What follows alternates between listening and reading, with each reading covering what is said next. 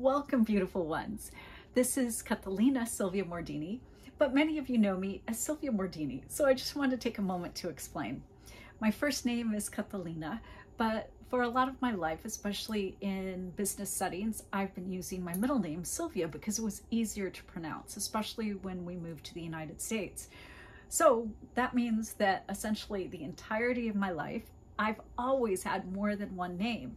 My family and my close friends always call me Catalina. And then those that are acquaintances or those that I'm interacting with in a professional way, I they usually know me as Silvia Mordini.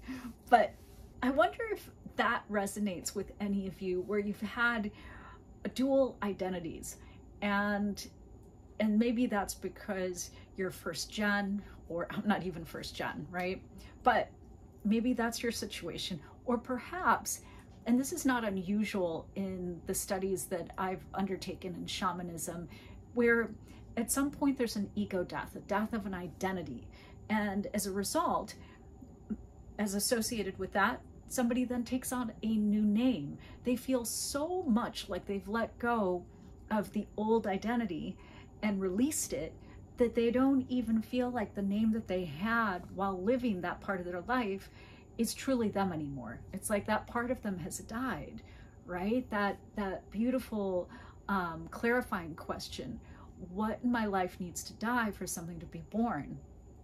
And for most of us, we go through multiple um, ego deaths, egoic deaths of the self, of this experience of letting go of some part of us.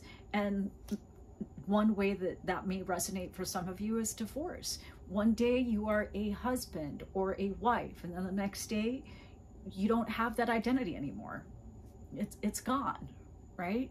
So even that is a real big change in how we view ourselves.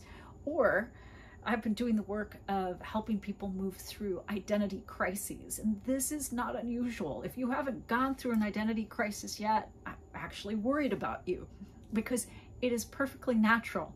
And it's also natural to move through more than one identity crisis. And I want to align that with, with the name of this new series, right? And I could use your help. So I love alliteration. Coffee, Catalina, seems like a perfect mix, right? And it's the first time I will ever use my name name publicly in this sort of situation.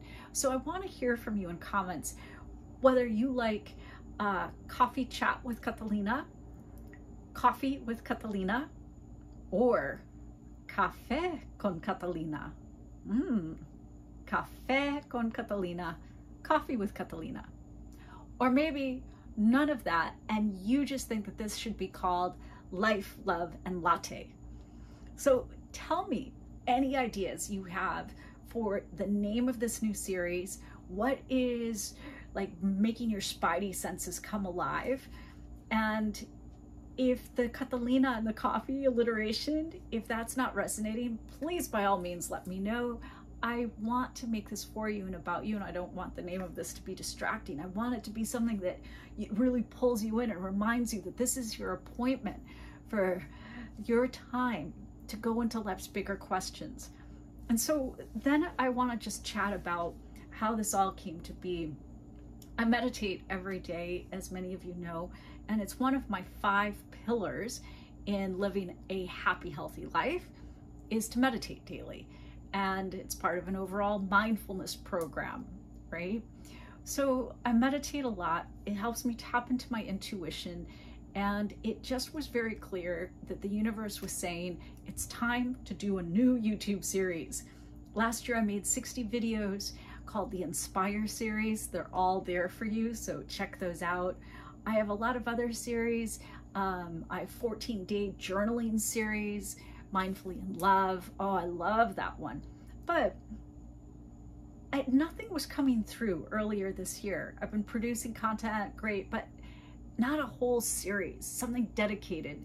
So that's why this is really exciting that it just came crystal clear because the conversations that I've been having with person after person after person is about purpose and about meaningfulness and that this last three years, 2020, when things got all confuddled um, for a lot of us and shook us up, right? We had to break the pattern of living that we were in. Every single one of us had to change the way we were doing things, even for a hot second, right? So, as a result, uh, it made us from this pattern interrupt, which is why we practice meditation or mantra, affirmations. It has caused a lot of people to have identity crisis and to ask themselves, why am I doing what I'm doing? Why am I doing it in the way that I'm doing it? Because before that, so many of us were just on the treadmill, just going, going, going mindlessly, right? Just like a treadmill just continues to just to move and you just move your feet, being led by it. That's what many of us were doing prior to 2020. We were living life by accident. And there is nothing worse in my mind than living life by accident because it means that we're essentially numbed out, checked out. And I want all of you to tap in, turn on, and and really be present to the beauty and the grace that this life is, even in its chaotic moments and its painful moments, right? So it was something that changed the dynamic of how we were living. And maybe now you at first we were just on fight or flight response. We were in survival mode okay? And then that lasted 2021 2022 and in 2023 you've really had time to try to even more deeply figure out like why is something off? Put in comments if that resonates with you. Like has something felt off? Have you felt off have the colors not seemed as bright, food not tasted as great, the things that were bringing you joy and seemed super fun, maybe they're not. Like they're just okay, right? Like there's a film over the light that the light is working, but it's not as bright as it used to be. So if that's the case for you, I really want this series to be an opportunity for you to know that you can come to a safe space and let's dive into meaningful topics. Let's ask ourselves the big life questions. Who am I right now? Who am I right now? Who am I becoming? And why am I here? What is my purpose? And what a lot of people don't know, and we, we don't talk enough about this, is that our purpose evolves and changes. Purpose is dynamic. Let me say that again. Purpose is dynamic. It's constantly changing and evolving as we move through the seasons of our life, right? The the book of our life is not one chapter, it's many chapters, God willing. So, of course, there's going to be a different focus, a different sense of fulfillment. And when we don't know our purpose, very often then we lack meaning in our lives. Meaning, purpose go together to create the trifecta of fulfillment.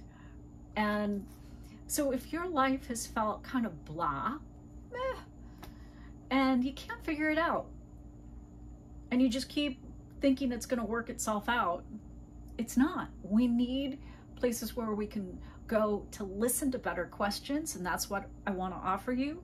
We need places where we can actually meet with people in person as well, and that's why I offer retreats. And we need courses of study that guide us through practices that help us get to our own answers. And that's why I have an online course library, courses, retreats, and all of these offerings that that I do virtually are here for you and about you because the struggles you have, I have and I want to make it easier for you than it is for me. So I have really felt a lack of places to go to ask the big questions, to listen to other people struggling with the big questions.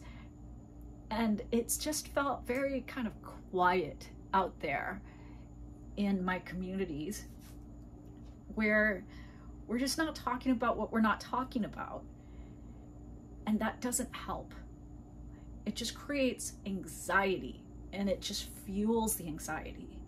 And for those of you that may or may not know, I have had chronic anxiety my whole life and I have high functioning anxiety. People have uh, rewarded me for having high functioning anxiety because it doesn't manifest on the outside and I get a lot of stuff done in that state of being.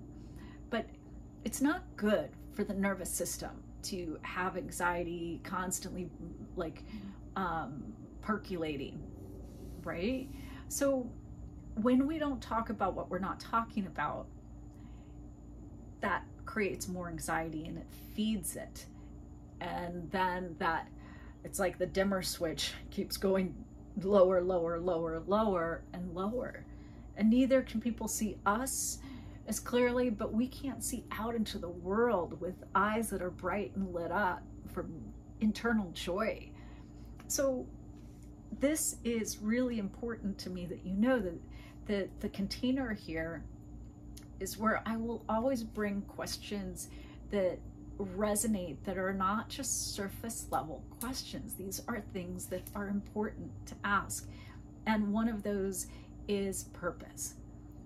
You will find purpose, love, and mindfulness as three key themes in Life, Love, and Latte, interwoven through every single episode because they are essential to us living our happiest life um, and having that sense of fulfillment and, and quiet contentment that comes when we have have those. So I would love to hear from you what you're struggling with. What have been the underlying themes that have been challenging you this year? And let me know.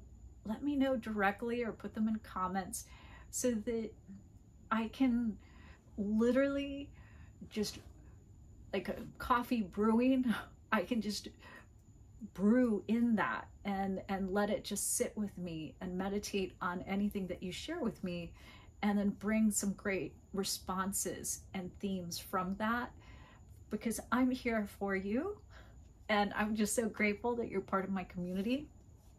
Um, but I have prepared some amazing uh, journaling questions that I want to take time to go over.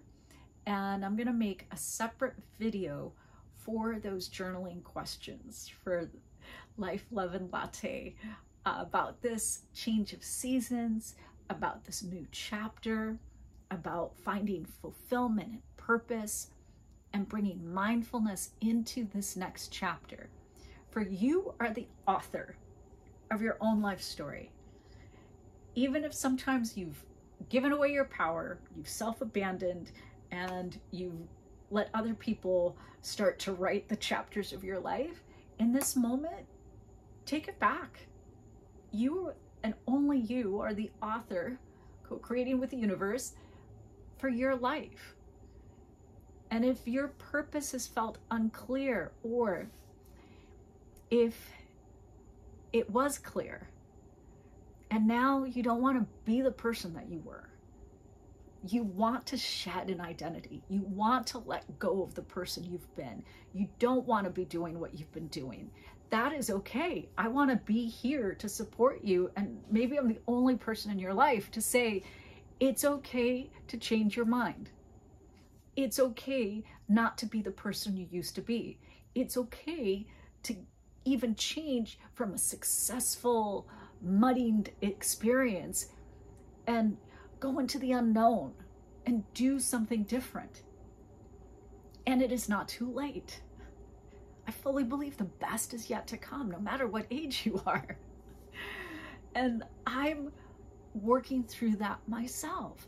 I want to normalize through my experience and my example that we can change change the, our careers, change the work we're doing, change the service that we offer out into the world, change where we live, change internally aspects of ourselves that no longer serve. Because the truth is, in the healing journey, and there is no top of the mountain to healing, but it is a lifelong journey, we do heal parts. and then new parts are triggered. But parts that are healed, we don't have to keep rehashing them and rehashing them and picking at them like poking a bear. We're like, all right, I've unpacked it, I've thanked it, I've given grace for the lessons, and now move forward. Move forward and continue to evolve in the ways that you look at yourself and deepen your self awareness. So, if it is your purpose that it's time to change out, to up level, to swap out, great. If it's some aspect of negative habits that you're letting go and releasing, wonderful. If it's relationships that you're assessing, going, yeah, I'm finally done with the toxic ones. I'm going to put healthy love boundaries into my life. Wonderful. But I want to be that place for you and that person for you that reminds you that it is okay to be on this path of transformation and change and change again and change again. All right? So if you're not hearing it anywhere else, or if the places that you get inspiration from everybody makes it sound so easy and beautiful and easeful. Like, oh yeah, I left my corporate job and then I started to be an entrepreneur and oh my gosh, I left the nine to five and it's been such an easy delight. I just live on the beach and do nothing all day. Or the people are like, yeah, I work one hour a week and make seven figures. One, I caution you not to necessarily believe everything you hear that people say as like that's all true. And life is generally messier than what some people are portraying as the changes in their lives. So easy. My life has been messy and change has always been a challenge for me. And that's okay. That's the reality. And even nature shows that to us to move from from one season to another you know leaves fall off the trees and then they just start to rot and it's messy it snows and it's so pretty for a second and then it turns gray and dark and it turns ugly there are parts of the process that are not pretty and it's not easy for i would say anybody I think that there's always inherent challenges as human beings when we are evolving and transforming and and moving through things. So know that this is a place where I will always keep it raw and real and I will share the messy parts of my life and hope that they inspire you to know that you're not alone in your messy parts and that as I move through things, I will share the lessons, but I'll also share the process that I'm going through. Not just, I was here and then look, now I'm here, but the in between. Because that's when I think a lot of us want to connect with people, is to see their in between, right? And I love sharing the in between. I love being able to just honestly give some insight into the fact that it's not always so easy and it's not always so clear and you get lost along the way and you take the wrong turn and you try things out and you try new identities and they don't fit and you realize oh those weren't the right ones and then you got to try again and again and so be it every day that we get to breathe and be alive and make those choices is a wonderful day. You know, everyone gets to be young, right? But not every one of us gets to be old. Maybe we're all, we've all been 10 years old. That's great. I hope for all of us that we get to be 35, 45, 55, 65, 75, 85, 95, 105. It is a distinct privilege to get older. And the longer you live, the more of these evolutions and identity crises and uplevelings of purpose we will go through. And so be it. And so be it. So thank you for being here. I hope you subscribe. I hope that I've given you enough context and insight into what this is going to be about, that it, it what's your appetite to want to come join me. And literally, I am always a coffee lover. So any chance to uh, to have a great cup of coffee and to be connected with beautiful souls, wow, I'm so lucky. So thank you for honoring me with your presence and do comment below with anything that I've said that resonated. Share with me your feedback on the name and those challenges that you've been facing. Um, either send those to me privately or put them in comments and let's have the collective work together and see how much we have in common with one another. I bet it's a lot. So for now, I always end every article I've written, every video with this part of this mantra that came through me like 20 years ago. And it was inspired by this. I'm sitting in meditation and this idea of I love myself, I am love, I offer love, I receive love, just informed my entire being. This is the mantra Aham Prema, I'm love. And so I sign off every time with bringing my hands to my heart in some capacity. but may you love yourself love your day, and love your life.